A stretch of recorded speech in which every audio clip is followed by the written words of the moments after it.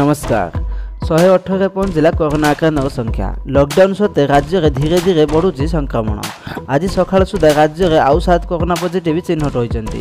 ଫଳରେ ଆକ୍ରାନ୍ତଙ୍କ ସଂଖ୍ୟା ଶହେ ଅଠରରେ ପହଞ୍ଚିଲା।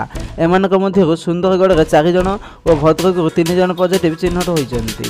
ସ୍ୱାସ୍ଥ୍ୟ ପରିବାର କଲ୍ୟାଣରୁ କଲ୍ୟାଣ ବିଭାଗରୁ ଏହି ସୂଚନା ମିଳିଛି। ରାଜ୍ୟରେ ଗତକାଲି ଗୋଟିଏ ଦିନରେ ଆଠ ଜଣ ପଜିଟିଭ୍ ଚିହ୍ନଟ ହୋଇଥିବା ବେଳେ ଆଜି ପୁଣି ଆଉ ସାତ ଜଣ କରୋନା ପଜିଟିଭ୍ ଚିହ୍ନଟ ହୋଇଛନ୍ତି। ଛଅ ଜଣ ବାଲେଶ୍ୱର ଜିଲ୍ଲାର ହୋଇଥିବା ବେଳେ କୋରାପୁଟ ଓ ଯାଜପୁରରୁ ଜଣେ ଲେଖାଏଁ ଚିହ୍ନଟ ହୋଇଛନ୍ତି। ରାଜ୍ୟରେ ଦିନକୁ ଦିନ ସଂକ୍ରମଣ ବଢ଼ିବା ସରକାରଙ୍କ ପାଇଁ ମୁଣ୍ଡବ୍ୟଥାର କାରଣ ପାଲଟିଛି।